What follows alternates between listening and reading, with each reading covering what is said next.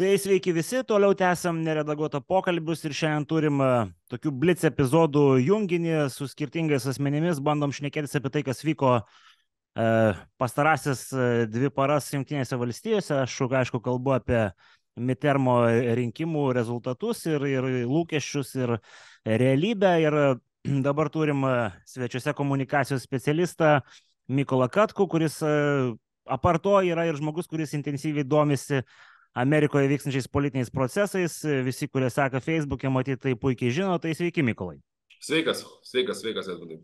Tai aišku, pirmas klausimas yra, matyt, tos tie lūkesčiai, kurie buvo ir šiaip politikos, sakim, tie už, kuluarai, užkulisiai, kurie kalbėjo apie tai, kas įvyks rinkimuose ir tai, kas įvyko, šiek tiek skiriasi. Ar jūs uh, ir iki rinkimų mąstėt, kad bus panašus rezultatas kaip dabar? Aš e, buvau truputėlį, taip kaip čia pasakyti, aš maniau, kad vis dėlto respublikonų pergalė bus šiek tiek didesnė e, ir tas turbūt, e, žinai, čia turbūt reikia suvokti, kad, tarkim, respublikonų pergalė, labai didelė pergalė nuo, nuo to, ką mes turim dabar, skiria kokie 2 procentai. Štai, vidurkis ir dar kaip rodo dabar va, paskutiniai statistiniai tyrimai ir statistika, kad kad apskritai mm, e, yra labai daug, paskutiniuose rinkimuose labai daug buvo e, tokių panašumų. Tarkim, jeigu, pavyzdžiui, vidurio vakarai balsuoja tarkim, tenais panašiai, tai tas, tas, tas pats nusidriekia per visą, per visą Ameriką. Kitaip tariant, kad yra, yra tam tikros bangos, ar ne, va, tai dėl to čia atsirado tas Red Wave, ar, ar Red Ripple, ar, ar kiti visi. Arba Red Nothing. Nes yra tam tikros bangos, žinai, ir mes, kai mes kalbam, žinai, jis yra, nu, mes kalbam čia apie poros procentų klausimą, žinai, daugulį atvejų yra, pavyzdžiui, labai įdomių vietų, tarkim, Florida, žinai, arba, arba Taip, Floridą palikim desertui, kadangi jo, abu mes jo, labai mėgstame. Tai, tai yra tam tikrų įdomių vietų, žinai, bet bendrai paėmus mes kalbame apie mažą, mažą dalyką. Žinai, faktas yra toksai, kad, e, ta prasme, kad jeigu taip žiūrėsim, žinai, turbūt yra, nu, kaip čia yra, du būdai, kaip vertinti rinkimus, ar ne, ir kaip, kaip politologija vertina rinkimus. Tai e, dešinės pusės politologija Amerikos ir ypatingai, ypatingai, sakysim, tie žmonės, kurie yra labiau, tarkim, taip intelektualiai e, susiję su, su MAGA arba su Trumpo judėjimu, jie iš esmės matė tą va tokį, nu kaip čia pasakyti, nu čia, nu, imkim tą patį Benoną ar dar kažką, tai jie visą matė tai, kas vyksta ir tai, kas turėtų vykti iš tuose rinkimuose, jie matė kaip tam tikrą tokią, na, vat, maždaug vat, buvo Trumpas, truputėlį, va čia gal šiek tiek jisai m, per daug gal čia vat, visus užnyso, nepatiko, žinai, bet dabar atėjo laikas, kai žmonės spaudžiami migracijos, pratos ekonomikos, prasto Bideno atrodymo, tarkim, tokios kairės, kairės tokių, kaip čia pasakyti, dominavimu, vadinkim taip, tokių, tokiuose probleminiuose taškuose, nusikalstamų bangos, poskovidinės visokių ten klausimų susijusių. Na, kitaip tariant, yra labai didelis kiekis problemų ir tos visos problemos, vat, nu, tiesiog nepalik žmonių nuo, nuo šalyje ir ten net nėra taip svarbu, ar tu esi hispanikas, ar tu esi baltasis, ar, ar panašiai, tu bus bendras didelis uh, at, at, atmetimas, tarkim, taip, m, demokratų partijos per visą Ameriką. Tai nu, čia, taip, turė, čia taip turėtų būti dažniausiai, nes ekonomika Amerikoje valdo. Ir... Tai, tai, ir tai, taip ir matai, ta ekonomika nėra techniškai tokia bloga, kaip, ten, pavyzdžiui, darbo vietų skaičiai nėra tokia bloga, ta ekonomika nėra tokia bloga, kaip jinai atrodo, bet infliacija yra didelė, bet Amerikoje infliacijos nėra patirties. Čia, tokių, nu, čia daug turi svarstymų, ekonom, tokių kaip čia politinės ekonomijos svarstymų, bet e, čia nėra tas klasikinė situacija, kad ekonomika yra bloga. Ne, tikrai nėra. Čia nu, būtų, tarkim, ekonomika, ten, žinai, būtų mažiau darbo vietų pridedama, būtų ten koks nors BVP kritimas sprendimas ar dar kažkas to, kad taip būtų kitaip. Dabar ta ekonomika Amerikos yra, jinai yra keista, ten visko vyksta, keistų dalykų, bet bendrai paėmus žmonės nėra tas vat, laikas, kad jie jaustųsi, nu, tai nėra 2009 metai ar ne, ir panašiai. Dabar tai čia vienas būdas taip žiūrėti, ar ne, bet tai iš esmės buvo neišvengiami procesai ir iš esmės e, tie žmonės atmesdavo visus ten, tarkim, asmeninius dalykus, pavyzdžiui, Trumpas patinka, nepatinka ten, koks nors ten dar kažkas, atmesdavo kaip tam tikrą tokį, nu, kaip čia, nu, atsako, tai yra nesvarbus dalykas, nes žmonės balsuos iš esmės už kitus dalykus. Kitaip tariant, buvo labai aiškiai tikimasi 2016 16 metų rinkimų pasikartojimo, kada ten visokie sociologai sako vieną, bet vat, iš tikrųjų žmonės sako, vat, mes tikrai, vat, mūsų užknyso ten imigracija, norim kažką su to daryti, balsavom už Trumpą. Ir tada ten pasikeičia visa politika, nežinau, Midvestas visas nueina pas Trumpą, ten visas tas, žinai, Bliuvolas, kur, kur dabar atlaikė, jisai buvo visiškai kitaip atrodęs. Kitas būdas tai žiūrėti buvo, toks politinis būdas tai žiūrėti, kas buvo labiau vyravo pas kai kurios respublikonus, bet daugiausia pas, pas, pas centristinius ir ypatingai kairės komentatorius. Tai buvo kitas būdas tai žiūrėti kaip tam tikrą klausimą apie, demokra... apie respublikonų partijos ateitį. Kitaip tariant, visi pripažįsta, kad jo, nu, sąlygos yra geros, ten galim sakyti, Bidenas patinka, nepatinka, nu, bet vis dėlto Bidenas yra nepopuliarus, 41 procentas tai yra prastai. Uh, ekonomikoje bardakas, uh, kriminaliniai nusikaltimai žvėriškai dideliuose miestuose didėja. Beje, čia aptarsim dar būtinai, tarkim, New Yorko rezultatus, čia yra fantastika. Ta prasme, New Yorką yra Kongreso daugumos respublikonai neturėtų, jeigu ne New Yorkas. New Yorkas tai yra, nu, tai yra mėlynoji tvirtovė, žinai. Nu, tai New Yorkas ir Florida, čia esmė bendrai. Ne, tai Florida, matai, matai, bet Florida, matai, Florida, tai buvo galima tikėtis, ta prasme. Nu, taip, bet nuo 0,4 Nuo 0,4 procento iki 19 į toksai overperformance. Taip, taip, bet aš turiu galvoje, bet, pavyzdžiui, vietų skaičiumi, vietų skaičiumi, tai New Yorkas mm. papildomai vietas, New Yorkas flipino penkias vietas iš demokratų respublikos. Tai yra labai, labai daug. Tai yra, principai, yra veiksnys, kurio nebuvo, nu, žinai, pažiūrėk, Kalifornija, Nancy Pelosi turi 8 procentų. Žinai, tai ten nieko panašaus nebuvo. Ir New Yorkas yra kaip tik ta vieta, kuri, tarkim, čia jau kalbant apie demokratus, tai turbūt yra Nu, čia kalbėsim apie tai, ką tai reiškia, bet čia biškai dar atskiria. Gerai, tai dabar antras būdas žiūrėti. Ne? Antras būdas žiūrėti yra, tu vertini tos rinkimus kaip e, klausimą tokį. Žiūrėk, yra partija, yra midtermai, turim tikrai laimėti, nes nu, akivaizdu, kad turi laimėti respublikonai iš tos rinkimus, tai, yra, vis, tai buvo visą laiką, išskyrus, jeigu nėra karo, tai tikrai opozicija laimė prieš e, einantį prezidentą, nes nori valstybę, nori duoti šiek tiek daugiau pančių. Ir, ir, žinai, ir esminis klausimas yra toksai, kad e, tada visi sako, bet, sako, bet ar jie laimės, nes Trumpas yra nepopuliarus, bet to radikalusis sparnas vat, laimi pergalę aukščiausiam teisme uždraudžia abortus. Kas yra, nu, vadinkime, vėlgi labai nepopuliari priemonė. Ta prasme, tai yra labai nepopuliarus dalykas ir, ir net jau Amerika pripratusi prie to abortų leidimo ir čia, žinai, kaip ten bebūtų amžius yra šiek tiek kitoksai ir tai yra labai komplikuota situacija. Tai, žinai, ir tada iš, iš tie politologai sako, kad iš esmės jų, jų, tarkim, jų požiūris buvo toksai, kad nepaisant viso to, Trumpas prapils, nes vat, ten, kur yra Trumpas, ten bus prapiltas. Štai, ir vertinant tos abu dalykus, aš manau, kad šį kartą turiu pasakyti, kad tas antras požiūris buvo tikslesnis. Nors aš pats truputėlį ėjau, linkau prie to, kad visą tai bus nesvarbu, žmonės tiesiog balsuos savo kišenės ir už tvarką ir įstatymą. E, ir to, išskyrus vėlgi, kelias išimtis, to, e, tarkim, ten, kur yra svarbiausia, ar ne, tai mes imkim, imkim pavyzdžiui, e, tą bat visą, taip vadinamą, tą Blue Wall, ar ne, tai Pensilvanija, žinai, kur yra tas, kur, kur Trumpas turi didžiulį įtaką. Pensilvanija apskritai labai keista situacija. Pensilvanijoje darbininkų ir klasės ir, ir tarkim, respublikonų dalykai yra labai, tai yra labai radikalūs ir ištikimi Trumpo magos rėmėjai. Daug, daug jie sudaro didelį procentą partijos viduje, didesnį negu, pavyzdžiui, tarkim, ten, nežinau, Mičigane, tarkim, arba, arba, arba, netgi, arba netgi, tarkim, kokio Džordžijoje, ne? Nors žodžiu, nu, nežinau, bet, bet, bet aš ten kažkaip buvau tos dalykus pasižiūrėjęs, tai ten tikrai labai didelė dauguma, kuri palaiko Trumpą.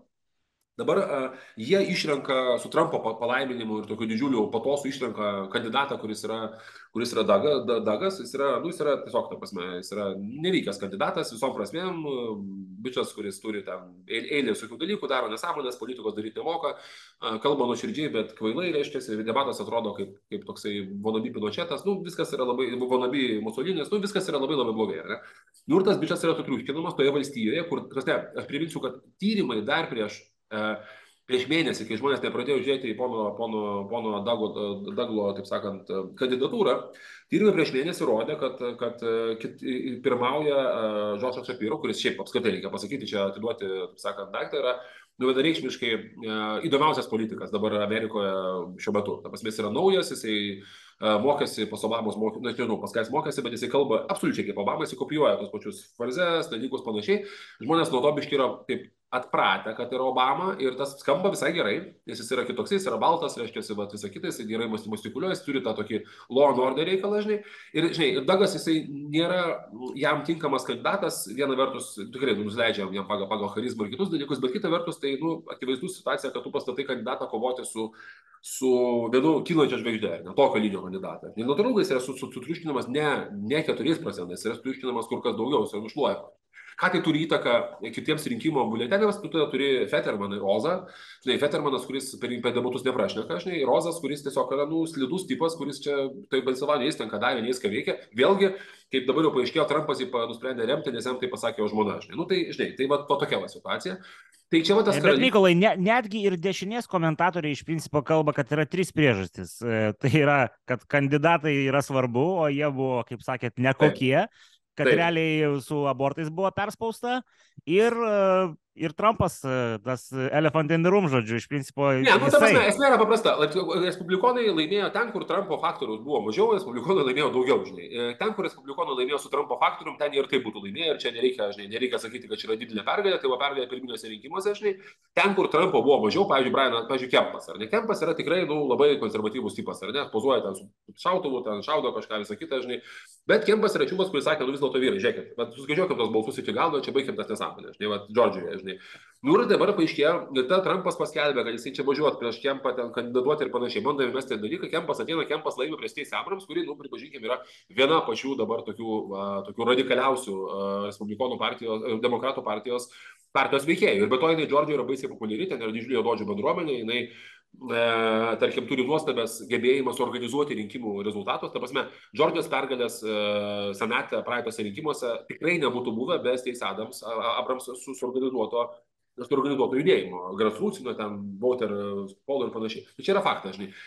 Ir, žinai, ir kitas dalykas, aišku, nu, su abortų perspaudimas, tai čia yra net, ne tai, kad perspaudimas, nu, tiesiog yra, žinai, nu, čia buvo, ta prasme, atrodė, kad tai buvo padaryta kampanija tiesiog atstatyti demokratų šansams, nes šiaip demokratų rinkėjai nemėgsta eiti balsuoti e, vidurio kadencijoje, čia yra klasika, ta prasme, Obamos rinkėjai netėjo, tai čia yra klasikinis reikalas. Tai dabar jie turi labai konkretų klausimą ateiti ir kada tu pasižiūri šalį, kur yra ekonominė potenciali krizė, prie šalimais infliacijos, kur yra didžiulė, antras punktas iškart po infliacijos yra abortai. Nu tai palaukščiai. Ta prasme, kuriame amžiuje abortai remia rinkimų rezultatus, ta prasme, kurie, kas, kas čia yra, žinai. Nu, nu, aš, aš, aš pasakiau šitą teiginį ryšim su to, kad e, tas pats Floridos, e, žodžiu, minėtas Desantisas, jisai kaip ir buvo prieš, bet jisai nieko nekalbėjo ten, žodžiu, apie... Tai jisai nėra kvailas. Nu, ta prasme, Rodas, Rodas tikrai tokių klaidų nedaro. Žinai, Rodas, jisai nukreipė dėmesį į imigraciją, ką jisai puikiai žaidė ir reikia pasakyti, kaip pažiūrėk tokį vairą, kai Trumpas jau čia vienu metu pradėjo po, to, po tos kratos kilti labai stipriai, Ironas ką padarė? Suorganizavo tą, reiškia, linksmą lėktuvą, kur paima imigrantus ir nuveda juos į, kaip čia, linksmas ir turti, tur, turtingų liberalų gyvenamas vietas, ta prasme, žinai. Ir vėl visi piktinės, ir vėl Ronas vėl. Bet tai Ronas iš esmės daro tą patį, ką darė Trumpas, tik tai daro tai tokių institucijų lygių ir daro tai, nu, vadinkim, taip, ne taip spontaniškai ir šiek tiek apgalvotai, šiek tiek labiau apgalvotai.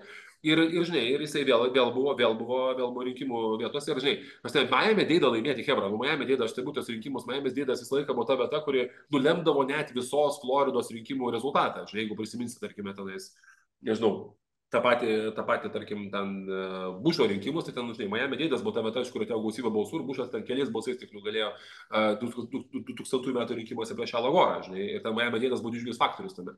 Tai aš noriu pasakyti, kad, aš noriu pasakyti, kad šitas, žinai, kad, kad yra akivaizdu, kad, yra akivaizdu, kad tas, va, tie komentatorių, kurie sakė, kad žmonės miškus yra pavargę nuo klausimų, kas vyko 20 metais ir jie nori judėti iš Trumpo partijos į post-Trumpo partiją. Žinai. Tai va būtent, čia tas, tas jos stop the steal naratyvas, jisai jį reikėjo užmiršti ir padėti į lentyną, bet jis yra eskaluojamas ir toliau. Taip, taip. Taip. Ne, taip, nu, kitas dalykas, žinai, nu, kitas dalykas, reikia kitą dalyką pasakyti. Trumpas reikalauja labai daug, tas stopės stilo naratyvas, jisai, e, ne visi žmonės gali prisiversti sakyti stopės stilo. Brianas Kempas e, Floridoje, nu, jis yra, nu, jis yra tikrai konservatorius, ar ne, ir jisai tikrai jau, ta, ta, žinai, bet, nu, jis net ir jisai negalėjo pasakyti Hebras stopės stilo, nu, ne, ne, negalėjo, žinai. Dabar kas tai sako, tai sako visokie dundukai. Ta prasme, visokiausių keiščiausių personažų, žinai, keistų žmonių visokių atsiranda.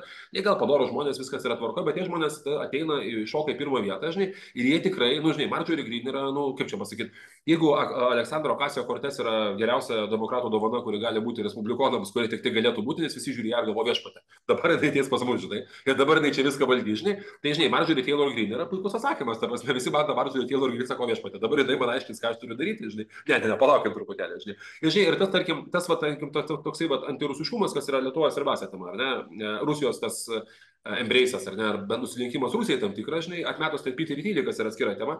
E, didelė dalimis ateina iš tų žmonių, kurie tiesiog paprasčiausiai nėra pasiruošę politiko karjerai, ten pateko dėl to, kad va, kažkaip pateko į Trumpo orbitą ir va, arba garsiau pareikė, Trumpą geriau apgynė ir dėl to jis taiga tapo, e, tapo dideliais politiniais veikėjais. Tai kokie Trumpo, pavyzdžiui, dorsantys žmonės, kaip, pavyzdžiui, Rondas Antis, ar ne, yra, nu, jie parodė, kad yra e, iš tikrųjų gali pasidaryti karjerą savo nepriklausomai nuo Trumpo, žinai, nes Trumpas, Rondas Antis būtų pralaimėjęs Floridos rinkimus, jeigu ne Trumpo parama. Bet e, dauguma tų žmonių vis dėlto reikia pasakyti yra nelabai kokybiški politikai. Ir, ir tas pradeda slėgti pačią, pačią partiją, kuri, kaip ten bebūtų, respublikonai visą laiką garsėjo to, kad jie nu, augino labai gerus kadrus. Ne? Tai yra, nu, tai yra tiek veislinių e, politikų toksai veisykla, dabar ten tų žmonių yra atsiradusių, žinai, net tarkim, arbatėlės judėjimo metu. Pažiūrėkime, žmonės politikai, kurie atėjo per arbatėlės judėjimą, nauji politikai. Tai, žinai, Polas Ryanas, ten, žinai, tas pats Krūdas. Ten buvo tikrai vis dėlto politikai, kurie buvo, nu, jie buvo, žinai, jie buvo specifiniai, įdomus, tikrai rimti politikai, valstybės, statesmanai, valstybės veikėjai. Šitoje vietoje mes turime nu, žmonių, kurie, nu, jie taip labiau kažkaip tai labiau kažkaip tai va tenka pamėgatuoti, pamitinguoti tinka, bet jie tikrai nėra tie žmonės, kurie gali, gali atsistoti per vidurį. Žinai. Kita vertus, reikia duoti ir demokratams. E, kaip ten bebūtų demokratai, pamoka, nepaisant viso progresyvų šauksmo, klyksmo ir viso kito, ir nepaisant to, kad Bideno vyriausybė yra labai labai uh, į kairę pusę, ir nepaisant to, kad jie daro absoliučias nesąmonės didžiuosiuose miestuose, pavyzdžiui, sakau, tas pavyzdys, kad kad, žinai, New Yorko pavyzdys yra puikus. Nepaisant to, vis dėlto demokratai šiuose rinkimuose daug kur labai kėlė protingus kandidatus. Pavyzdžiui, tas pats, tarkim, Ohajas, ar ne? Tenais, iš esmės, jeigu nebūtų įsikišęs, nu, tai yra tokia, toks vienas iš tokių teorijų, kad jeigu nebūtų įsikišęs Mišas Mokonolis, prieš Gaidį Vensą, kuris yra keistas kandidatas Ohajo maštabais. Tai, žinai, taip aš ten žiūrėjau tą va, Timo Raino, tą va, visus, visus jo, jo konkurento visą kampaniją. Nu, tai buvo fantastiška kampanija. Ta prasme, jisai, jis ten, žinai, tiesiai sakė, aš, man čia niekas nenurodinės, ką reikia daryti, jis kalbėjo teisingus dalykus ir jis tikrai atrodė stipriai stipriau už, už šitą, už, už Gaidį Vensą, stipriai geriau atrodė. Ir, ir tai yra tikrai labai stiprus kandidatas, kuris akivaizdžiai turi didelę patirtį, didelę ateitį Ohajoje ir jisai galbūt net gali tą Ohajų kažkada ir poflipinti. Jis tikrai yra jis tikrai yra puikus, labai labai stiprus kandidatas. Tas pats Petermanas, jeigu atmetus jo tą insultą, žinai, jis yra labai geras kandidatas. Džordžas Šapiro, puikus kandidatas. Ta prasme, ir kandidatai tokie, kurie patinka ne tik tai vienai politiniai partijai, bet gali, tarkim, pavyzdžiui, Džordžas Šapiro yra labai konservatyvų žydas ir jisai yra jis labai daug kalbėjo apie religiją ir apie savo, savo tikėjimą, jis yra, žinai, jisai ten valgo tik košerinį maistą ir panašiai, jisai puikiai sutarė su dauguma religijų bendruomenių. Ir tai yra toksai kandidatas, kurį aš galėčiau matyti ir aukštesnėje pozicijoje, nes tos tradicinės, centristinės, vadinkim taip, vertybės yra suprantamos tiems žmonėms, kurie nulėmė rinkimų rezultatų, žinai. Kaip ir Bidenas, žinai, Kamala Harris būtų pasikrovusi gal malkas, dabar jau tas visiškai akivaizdus stipriai.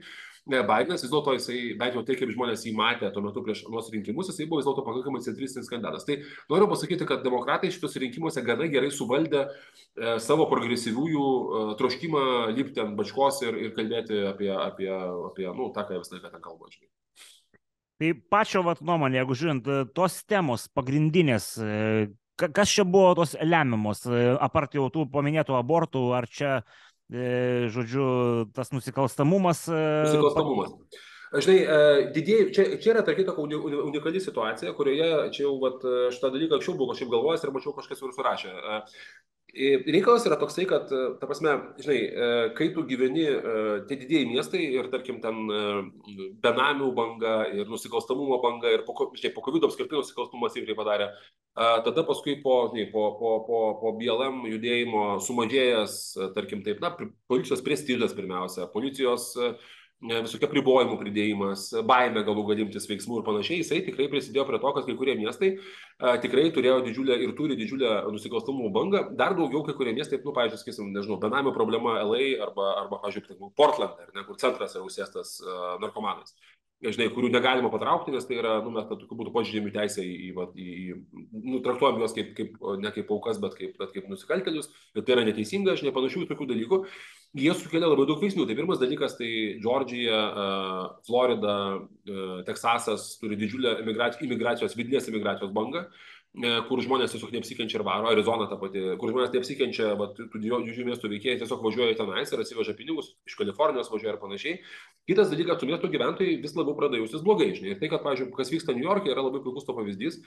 E, ta prasme, ta banga, bet to ta kriminalinio nusikaltimo banga, jinai yra tikrai labai susikoncentravusi. Čia, žinai, galima sakyti, tai propaganda, ne propaganda, bet kiek aš mačiau tų visų tyrimų, vis dėlto tikrai yra susikoncentravusi labai stipriai būtent demokratų nuo seno valdomose miestuose. Žinai.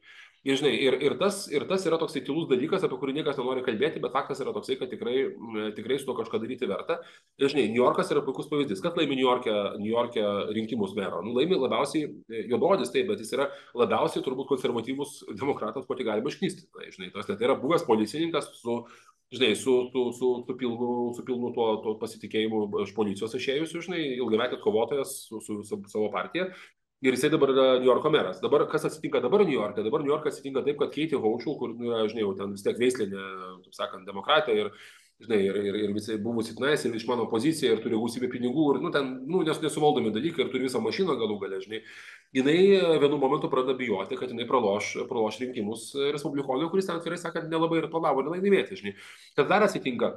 Ne tik tai ten, žinai, koks nors Logailandas, ar ne, ten pradeda balsuoti už šitos, už, už, už respublikonus, kuris visą laiką buvo lygės, bet mes turim, pavyzdžiui, Brukliną, žinai, mes turim, mes turim Kvinzą, ta prasme, mes turim betas, kuriuose ten, ten respublikonų su žiburiu nebūdavo, dabar tai respublikonai ten visiškai fainai pasirodo ir, ir tarkim, taip atkovoja penkias vietas, penkias New York'e. Ta prasme, Koloradė, Koloradė net kovoja, Koloradė priešingai svičinasi į demokratinę pusę, žinai, o New Yorkas yra taip faina, žinai, žinai, tai čia yra turbūt ir, ir tam tikras, nu, pasakymas, kad yra Kasio kortės nes nėra tokia politikė, kuri va taip sėkmingai būtų, žinai. Ir kitas dalykas, nu, aišku, vis dėlto reikia pasakyti, kad tas e, valdymas New York'e E, paskutinio mero, kuris buvo tikrai patį savo kandidatavimo pabaigą tapęs e, tokiu jau, sakysim, taip, nu, prasme, nu bandė kaip čia, vat, kokią dar radikaliau, vat, kokią idėją būtų padaryti, žinai, e, po, tarkim, sakysim, sakysim taip, tokio labai, santykinai labai, labai tvarkingo, tvarkingo Bloombergo valdymo, nesantykinai, bet iš tikrųjų tai buvo labai, labai rimta asmenybė meras. Nu, tai dabar mes turim situaciją, kurioje tikrai mes matom, kad, kad, kad tas pas New Yorkas gali pradėti slysti iš demokratų ir kad jeigu toliau bus tas tęsės, toliau visas tas, vat, ta tokia, žinai, vat, Maroko bėsija, žinai, visų, visų progresyviųjų, aš vadinčiau taip, nes tai iš tikrųjų, tai, nu, ten tikrai yra toks jausmas, kad vat, ką dar surasti, kokio, nu, kokią dar auką galima surasti naują, žinai, ir, ir tas, e, tas po truputėlį yra pradedama suprasti, tas cancel kultūra pradeda nebeveikti, pavyzdžiui, Dievo šapelės kaip sėdė, taip sėdė, žinai, ir ten sėkmingai toliau gyvena, kažkur vieną kartą pakancelino, kitur nepakancelino, žinai.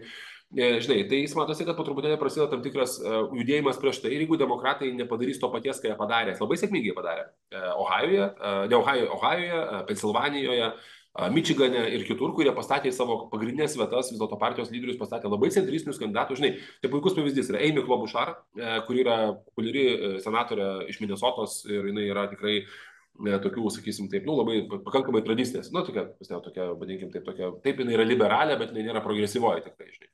Tai jinai buvo viena labiausiai tokių paklausių kalbėtojų per demokratų rinkimus palaikyti. Na, aišku, pirmiausia buvo Barackas Obama, žinai, bet, bet Amy Klobuchar važinėjo ten sėkmingai darant, nu, galima palyginti su Konkorobė Sančiu, žinai, kuris irgi važinėjo pakankamai daug, palaikydamas savo kandidatus. Tai tiesiog rodo, kad, kad tas centrizmo, vadinkim, tokio nu, racionalios politikos poreikis tikrai atsiradęs yra ir, ir rinkėjai siunčia signalą ne tik tai respublikonams, kad, nu, nedarykite, nestatykite durnių, nes jie mat patinka Trumpui, žinai. Tai lygiai, bet lygiai taip pat ir siunčia ir, ir, ir demokratams tą žinią labai aiškiai, kuri, kad, kad, žinai, kad, kad, kad poreikis, tarkim, tokios biškiai racionalesnės politikos, jisai tikrai išlikęs yra ir, kaip, pažiūrėjau, susidurėm su crime wave dideliuose miestuose, tai yra tai yra labai, mano nuomonė, tai yra labai labai didelis stiprus signalas.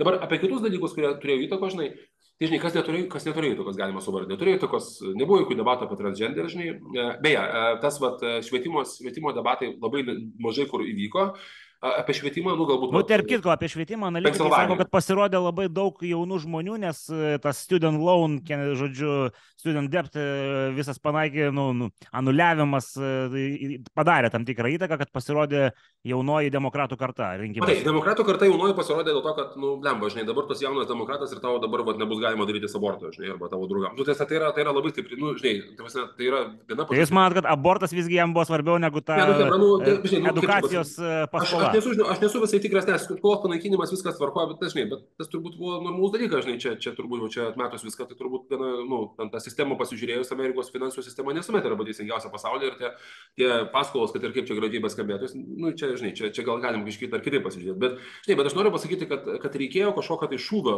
šuo šautuvo, dėl ko mes turime ateiti. Ir demokratai atėjo dėl to, kad e, abortai buvo ta tema, kuri, nu, ta prasme, nu, jinai parodė, ką, ką, ką mes čia visi darom, žinai žinai, e, nes abortai dabar tada, žinai, aukščiausio teismo dabar teisėjų, kai kurių ten, tokių, vat, e, Samuel Alito troškimas dabar ir dar, žinai, gėjų partnerysčių klausimą prisiminti, kuris pačioje Respublikonų partijoje jau yra populiarus, žinai, nes tai Aštuntais, trečiais metais Bušas, ketvirtais metais Bušas savo rinkimų kampaniją statė ant draudimo gėjų partnerysčių. Dabar Respublikonų partijoje ten turbūt yra kokie, žinai, pusės, pusės palaikymas tai temai, tai tu turbūt, nu, vėlgi, tai nėra tema, kurios tu galėtum statyti savo kampaniją. Tai, žinai, tai, tai, tai tokie dalykai gazino žmonės, e, visi mato serialą, vat, e, šitą tarnaitės istoriją, niekas nenori tokiam pasaulyje gyventi ir natūralu, kad tai buvo tikrai labai didelis mobilizuojantis veiksnys, žinai. žinai. Ir yra tokių politologų, kurie sako apskritai, kad dabar e, abi dvi pusės Amerikos polarizacijoje taip viena kitos bijo, kad juos ateis, e, kad dabar Amerika įžengia į tam tikrą etapą, turbūt 20 metų per periodą, čia kažkas taip yra sugalvojęs, per kurį e, aktyvumas partijų bus, e, bus labai labai didžiulis. Ta prasme, jisai bus, jisai, jisai bus tikrai labai didžiulis ir iš esmės e, tai reiškia, kad Amerikos politika, kuris laikas žavi yra to, kad tu Amerikos politikoje labai tiksliai taikai, kas turi ateiti, nu, labai žinutės yra taikytos labai tiksliai, pavyzdžiui, porai procentų žmonių, tai dabar tos žinutės gali būti taikomas dar mažesniam kiekiu žmonių. Taip gali atsitikti. Nu tai gerai, tai, tai reikia dar bet kokiu atveju pabaigai, kadangi žinau, kad mes turim labai ribotą laiką, aptarti mum e, iš Europos žiūrintiems į Amerikos rinkimus temą, klausimą, kuris įtin svarbus, bet Amerikoje jis matyt buvo trečiailis, gal, gal dar žemesnė eiliai.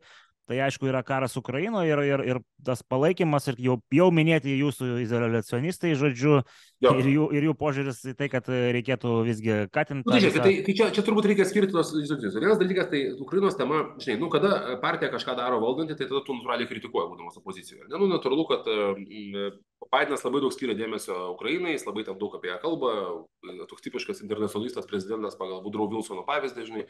Ir jisai, žinai, jisai apie tai labai daug kalba ir labai daug apie tai bendrauja. Tai tas yra, tas yra akivaizdu ir natūralu, kad kai jis tiek daug kalba, tada natūralu, kad yra dvi pozicijos. Arba sakyti, jis daro per mažai, ką sakė dalis tų uh, vat, senos kartos establishmento demokratų. Tai vienas dalykas. Kitas dalykas yra sakyti, kad, sakyti, kad kitas variantas yra sakyti, žinai, kad daro per daug. Tai tas yra natūralios pozicijos, arba tarkim daro per daug, čia gal leidžia pinigus kažkaip čia vagia tos pinigus ar kažką veikia, nu čia yra visokiausių variantų, ar ne kaip studentas. Tai čia yra politiniai aspektai. Tai čia dėmesio daug nekreipčiau, iš tikrųjų tai yra, manau, kad e, daugumai vietų tų vat, visų pasakymų buvo maždaug panašios serijos.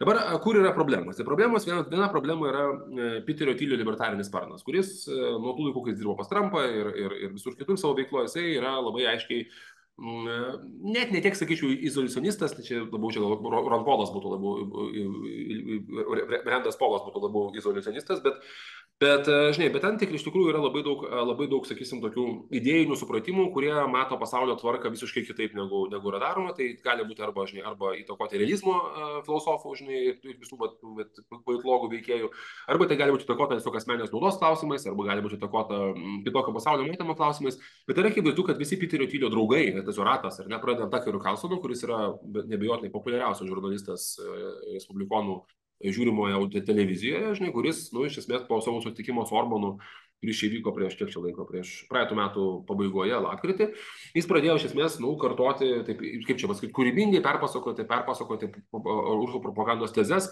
su didžiuliu dažnumu, ar ne? Ir tas natūralu yra Ir tas natūralu yra, tas natūralu yra tikrai, tikrai labai, labai, e, labai e, nedžiugina. E, Takeris partijos, jeigu vidinius tyrimus pasižiūrėjus, apie 30 procentų partijos simpatikų m, sako, kad jiems Ukrainos reikia mažiau remti arba visai neremti. Tai 30 procentų yra pakankamai didelis skaičius Reigano partija, žinai, kuri buvo Reigano partija, kuri išgelbė Ameriką ir, taip sakant, Rusija yra mirtinas priešas. Dabar tas persidengia kažkiek su Trumpo rėmėjais, bet nebūtinai. Čia yra tokių persidengimų. Kitas dalykas, žinai, Trumpas tikrai yra visų pirma dėrybininkas, jis niekada ne apsi, jis niekada ne, ne, ne, neapsikrauna savęs pažadais, kam tai tiesiog nenaudinga. Nu, ta prasme, jeigu jis kažką pažada kažką padaryti, jis žino, kad jam tai bus naudinga. Tai, žinai, tai Trumpas viena vertus žaidžia tą mintim, kad vat, jisai čia padėjo, padėjo, galėjo padėti Putinui vietą, žinai, ir čia jisai, taip sakant, būtų sutvarkęs. E, kita vertus, jisai tikrai ten nežada paramos Ukrainai, bet to Trumpas, reikia pasakyti, porą kartų labai nepataikė, nes ten pradžioje sakė, kad Ukraina užims per trumpą laiką, nu, jis ten tiesiog, va, taip, žinai, išnekėjo. Tos temos, manau, kad Trumpas pakankamai stipriai vengia. E, kita vertus, Trumpas tikrai nepradės, pavyzdžiui, sakyti, tu Ukrainos nemėgsti, jis nepradės sakyti, ne, nemėgstu. Jisai tada sakys, nu, ką nemėgstu, o ką, o ką mus padeda, nu, žinai, va, kažkoks toks dalykas yra, kas tikrai nepadeda šitam reikalui, žinai. Kita vertus, na, šitie rinkimai, e, Trumpo tas silpnumas, vadinkime, jis labai aiškiai parodė, kad, kad respublikonų stiprybė slypi toje vietoje, kur yra labiau tradiciniai respublikonai. Ir visų pirma, mes čia nu, kaip, kaip, kaip ir demokratų iš to, ką jūs pasakėte. Tai aš, man, man, taip, man tai taip atrodo taip, man, man šie rinkimai, ta prasme, man yra faidė, nes aš, aš neslėpsiu, kad aš esu, vadinkime, jeigu mano, mano pažiūros yra, žinai, aš esu Reigano demokratas arba, arba, arba žinai, koks nors ten, žinai, respublikonas, kokios nors ten, žinai, šito, ten Makeino ar dar kažko. Žinai, tai, tai ta prasme, tai mano tokios pažiūros instinktyviai yra tokios, ar ne? Žinai, tai, tai toje vietoje aš manau, kad toje vietoje aš, aš, aš manyčiau, kad, kad dabar tas partijos, viena vertus ateis daug naujų žmonių, kurie atėjo vis tiek iš Trumpo pusės, nes Trumpas tikrai ten tų kandidatų labai kiekis pasikeitęs yra kurie turės kitokios nuomonės. Aš manau, kad anti-Ukrainos partija, Respublikonų partijoje bus tikrai stipresnė negu buvo. Čia kalbos nėra, kongresai ir senate. J.D. Vensas vienas yra vertas kožnai, kad jisai jis eina Ohajoje, kuriame yra didelė ukrainiečių bendruomenė ir jisai Ohajoje vis tiek yra anti-Ukrainos anti paramos teikėjas. Nu, tai, tai vadinasi, tai yra jau stikinimas, tai nebėra politinė kalkuliacija jokiais būdais. Ir, ne, ir tas dalykas tikrai kainavo ten ne vieną balsą.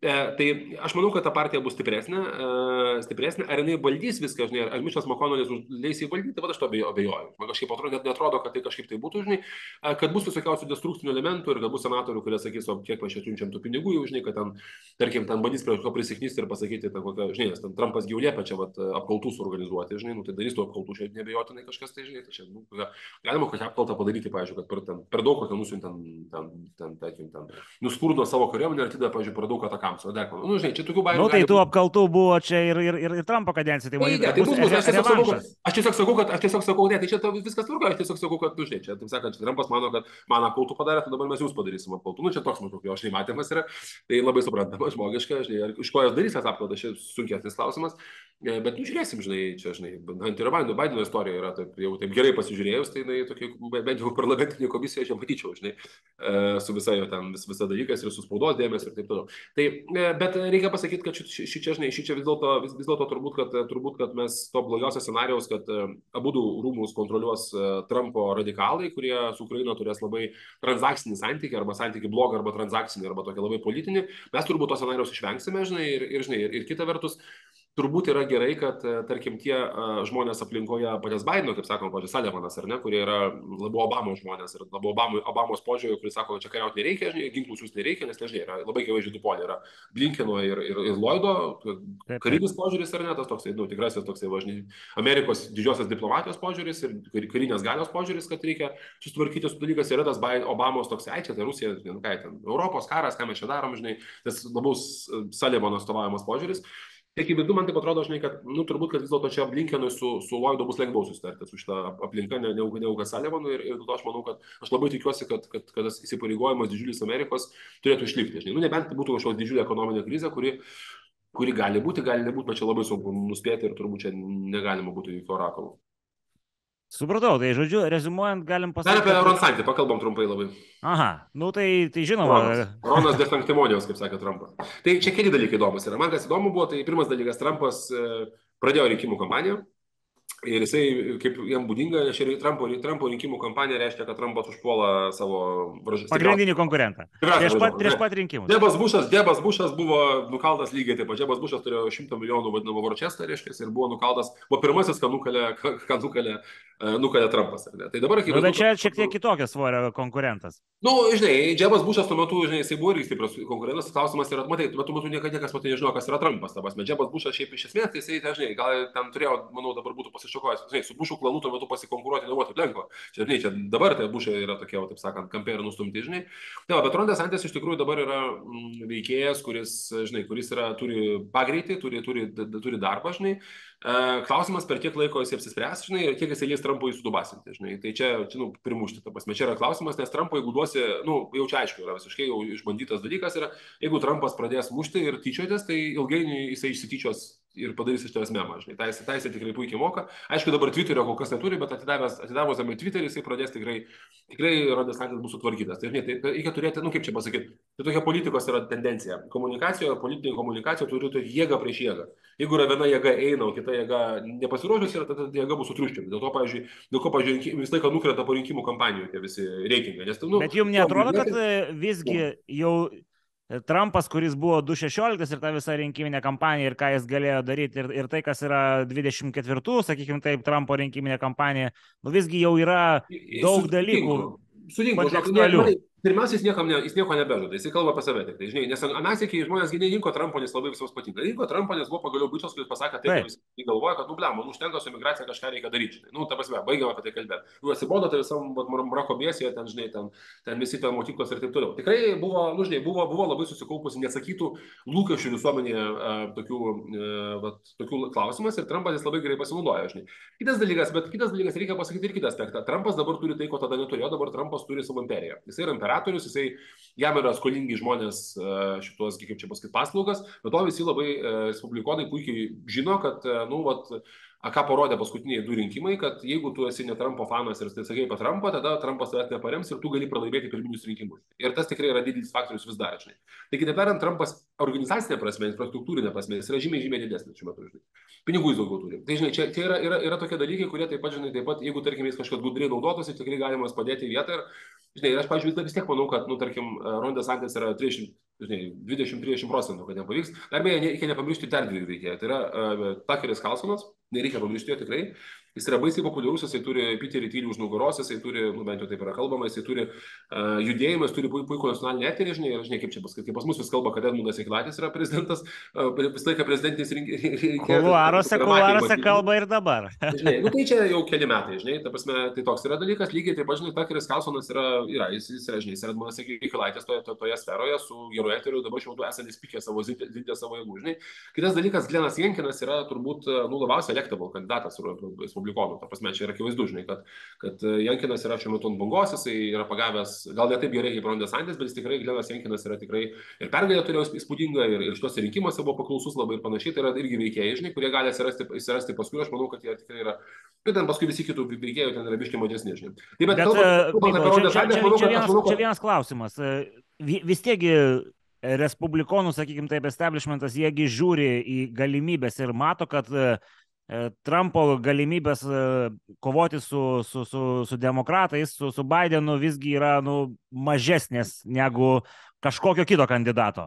Man kaip yra, va čia yra bėdas, bėda matai yra tame, žinai, kad, nu, kaip čia pasakyti, va iki šiol, tarkim, nu, žinai, ta, žinai, tas buvo akivaizdu 18 metais, tas buvo akivaizdu 20 metais, tas buvo akivaizdu dabar, žinai. Ta prasme, žinai, dabar jau akivaizdu tarsi yra labiau, žinai, bet, žinai, bet, nu, Bet, bet žinai, bet ta visa, vat, ta visa vat, kaip čia pasakyti, tas visas vat, žiniasklaidos, e, vadinkim, konservatyvosios žiniasklaidos burbulas, žinai, jisai, nu, jis tikrai buvo susikūręs per tą laiką, jisai, jis nelabai leidžia iš to burbulo išeiti. Čia, aišku, labai svarbus dalykas yra merdokai. Ta prasme, ką darys Fox News. Tai čia yra labai svarbu, nes Fox News niekada nemėgo per daug, per daug Trumpo, žinai, bet jie su juo dirbo, nes tu čia toksai, nu, žinai, nu, toksai kaip čia pykstai su savo pagrindinio kanalo žvaigždė, bet jis vis tiek yra kanalo žvaigždė, žinai.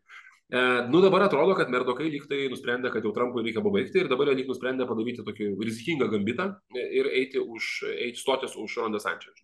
Tai tas dalykas čia pasirodė kelis kartus ir čia buvo ir, ir vaizdų, ir, ir dabar Rondas Santis, žiūrėjau, Foxas yra priimtas kaip, nu, kaip tas išgelbėtojas, ganytojas ir taip toliau. Štai, jeigu taip atsirastų ta alternatyvi kažkokia tai kompanija, pradedant merdokais, žinai, ir kitais dalykais, jeigu Rondas Santis sugebės tiesą sakant, sugebės daryti tokias sėkmingas pokštus, kaip darė su tais, politinė prasme, sėkmingus pokštus, kaip darė su tais emigrantais, žinai, toliau. Arba Disnėjus, nu, kova, nu, čia klasika, hebra, nu, čia poezija, ta prasme, nuostabi politinės komunikacijos poezija. Voltas Disnėjus nori ten, nu, taip, tam, taip, žinai, nu, čia toks yra, tai auditorijai, nu, pasgi supranti, čia yra pats geriausias, pats geriausias rulona mėsa, ten galima daryti ir, žinai, ir, Sako, Disnėjaus sėdėk ar nesikišk į politiką, žinai.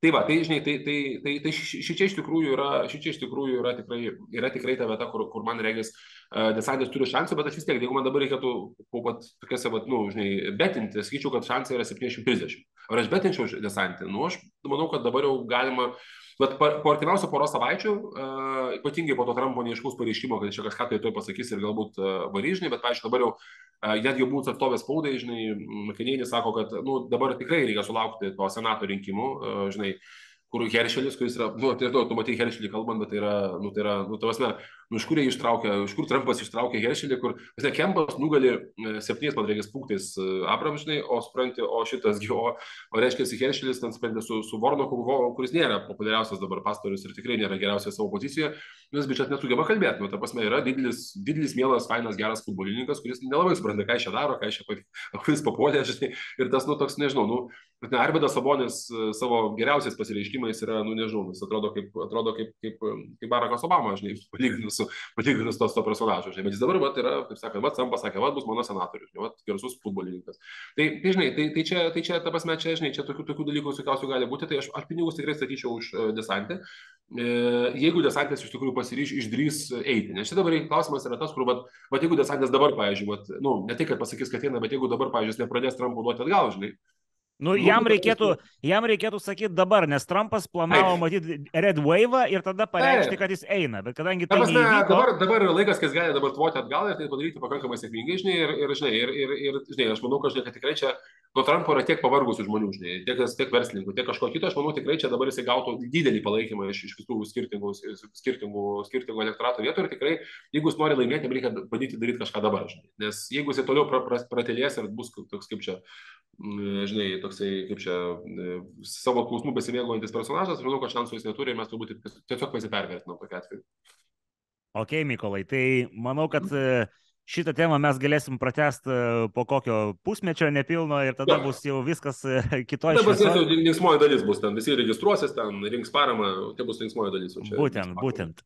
Tai ką, tai, tai dėkui, dėkui pačiam, kad e, radot savo laiko, žodžiu, pasišnekėti šitą temą, kur Lietuvoje išnekančių yra, sakykime taip, netaip ir daug. Mm. Visada smagu. Mm. Dėkui, dėkui visiems, kurie žiūrėt ir ką, iki kitų kartų.